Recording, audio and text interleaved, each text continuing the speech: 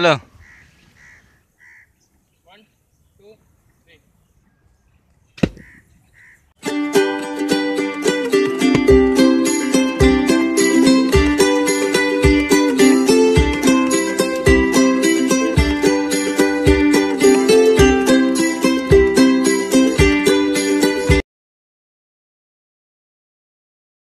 चलो फिर, क्या देखने आए हम लोग आज? Two objects of different masses fall simultaneously दो चीज़ें अलग अलग मास के, एक हाथी गिरा दो, एक घोड़ा गिरा दो, टमाटर गिरा दो हॉर्स गिरा दो, एक साथ गिरने वाली हैं। कैसे गिरती हैं? कॉन्सेप्ट क्या कहता है? कॉन्सेप्ट ये कह रहा है कॉन्सेप्ट क्या कह रहा है? ये कह रहा है कि जो ऑब्जेक्ट हैवी मास का है अर्थ का अट्रैक्शन ज़्यादा होता है, बिल्कुल ज़्यादा होता है, बिल्कुल ज़्यादा होता है। अट्रैक्शन हैवी मास गिराओगे अट्रैक्शन ज़्यादा होगा। लेकिन प्रॉब्लम क्या है? प्रॉब्लम ये है कि दोनों एक साथ गिरते हैं। ये आज की बात नहीं है। ये आज की बात नहीं है। 1642 कब की बात है ये? तकरीबन 400 साल पहले। 400 साल पहले एक साइंटिस्ट थे हमारे गलीलियो सर वो सोच के चले गए। एक्सपेरिमेंट करके चले गए। थ्योरी देके चले गए। और आज हम लोग इसको फिर से देखते हैं, थोड़ा रिवाइज कर लेंगे। और एक बड़ा अच्छा कॉन्सेप्ट है, देखिए एरिस्टोटल ये थे कौन पता है?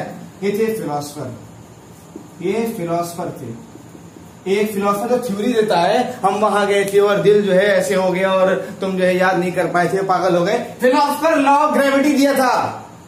ठीक है? सेकेंड गैलीलियो का डेथ ठीक है? इट इज़ डेथ ये डेथ है गैलीलियो का।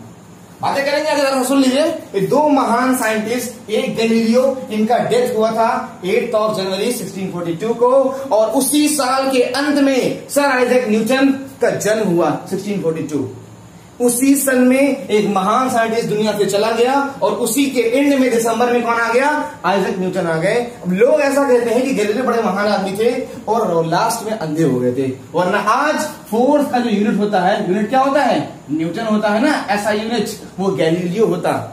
जी होता एन ना होता। बहरहाल, वो तो फिर लक की बात है। चेक करते हैं, गैलीलियो के एक्सपेरिमेंट हुआ का, कैसे होता है? ये अर्थ है ये अर्थ है यहाँ पे भी अर्थ ले लेते हैं।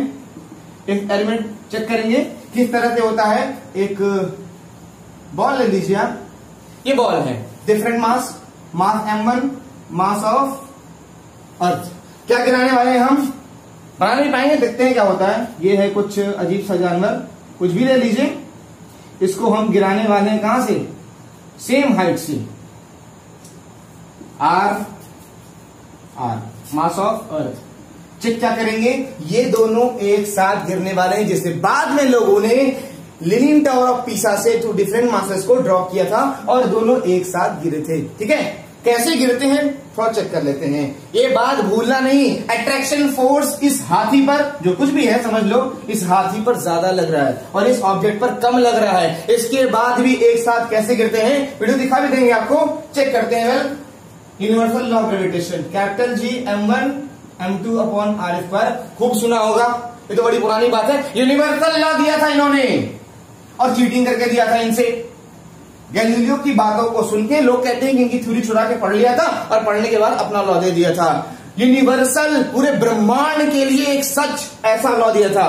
ठीक है तो पहचान लीजिए इसको।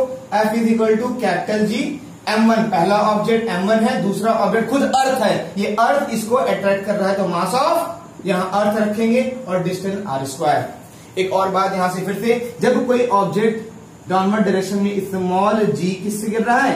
एक्सेलरेशन से गिर रहा है। ठीक है? थोड़ी सी बात याद कर ले सेकंड लॉ ऑफ़ मोशन की स्मॉल जी एक्सेलरेशन से गिर रहा है तो किसी ऑब्जेक्ट पर उसके मोशन की वजह से एक्सेलरेशन से एक फोर्स लगता है F is equal to M A कुछ याद है सेकंड लॉ ऑफ़ मोशन तो F is equal to M F A अगर यहाँ सोचा जाए, ये ऑब्जेक्ट जी एक्सेलरेशन से नीचे गिर रहा है तो कितना फोर्स आएगा? F is equal to M one G आएगा। एम वन क्यों लिया भाई? क्योंकि ये ऑब्जेक्ट एम वन गिर रहा है। अर्थ नहीं गिर रहा है। अर्थ वही है। एम वन नीचे की ओर गिर रहा है तो एम वन जी इसके एक्सेलरेशन की वजह से एक फोर्स आया हुआ है। हकने की बात नहीं है। ध्यान से समझो। ठीक है capital G m1 mass of earth upon R square M one M one क्या हो गया? कैंसिल हो गया। तो एक्सेलरेशन कितना आ रहा है? स्मॉल जी कितना आ रहा है? Capital G mass of earth upon R square जब इसको सॉल्व करोगे, कितना आता है? 9.8 मीटर पर सेकेंड स्क्वायर इसका क्या मतलब होता है? इसका मतलब होता है, पहले सेकंड में ऑब्जेक्ट की स्पीड कितनी थी? मीटर पर सेकेंड 9.8 मीटर पर सेकेंड जैसे ही हमने ऑब्जेक्ट को ड्रॉप किया, उसकी स्पीड कितनी हो गई? एक सेकंड के बाद 9.8 मीटर पर सेकेंड दो सेकंड बाद कितनी हो गई? 19.6 मीटर पर सेकंड। बहुत ध्यान से देना हम क्या बोलने जा रहे हैं। 19.6 मीटर पर सेकेंड। दो सेकंड के बाद ये ऑब्जेक्ट पता है कितनी स्पीड है? ये तकरीबन है 70 किलोमीटर पर आवर। ये एक सेवेंटी किलोमीटर पर आवर वही ऑब्जेक्ट जब ड्रॉप करते हैं, इतना अट्रैक्शन फोर्स होता है कि दो सेकंड के बाद ही वो सेवेंटी किलोमीटर पर सेकंड लगता है। फिर तीन सेकंड फिर ऐड होता जाएगा। चेक करते हैं हाथी भैया का क्या होगा। इनको तो गिरा दिया। इनकी स्पीड कैसे बढ़ रही है? एक सेकंड में नाइन नाइन पॉइंट एट दो second nine point six eight metre per second ऐसे ही बढ़ता जाएगा बढ़ता जाएगा बढ़ता जाएगा। आइए चेक करते हैं हाथी भैया क्या होगा।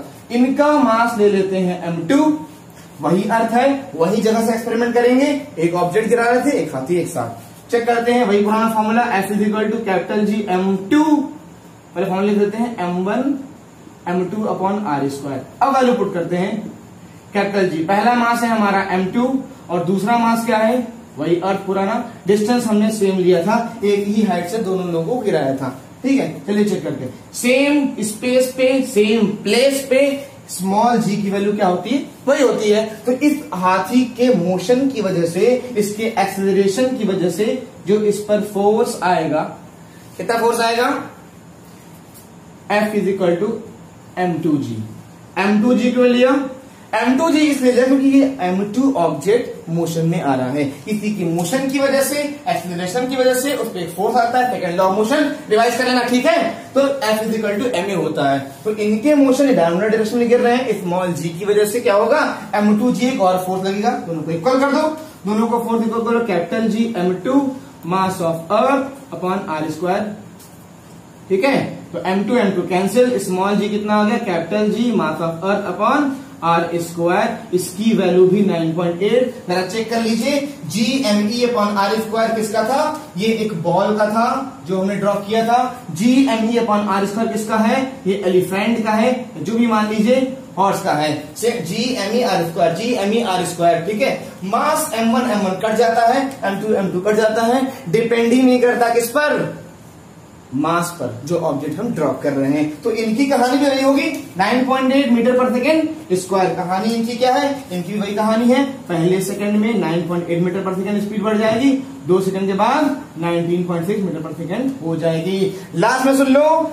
अट्रैक्शन को ज़्यादा लगेगा, लेकिन इन दोनों की स्पीड एक साथ, जैसे एक ट्रक चल रहा है 70 किलोमीटर पर आवर से। एक अपाचे चल रही है सेवेंटी किलोमीटर पर से। सेवेंटी सेवेंटी तो क्या दोनों अलग अलग जाएँगे? एक साथ में जाएँगे। ट्रक से क्या मतलब है? हमको स्पीड से मतलब है। हम से चलेंगे, एक साथ चलेंगे। ऐसे ही दोनों की स्पीड जो गेन होती है, वो सेम सेम होती है। हर एक सेकंड सेम तो इसलिए एक साथ गिरते हैं। सब्सक्राइब कर दीजिए।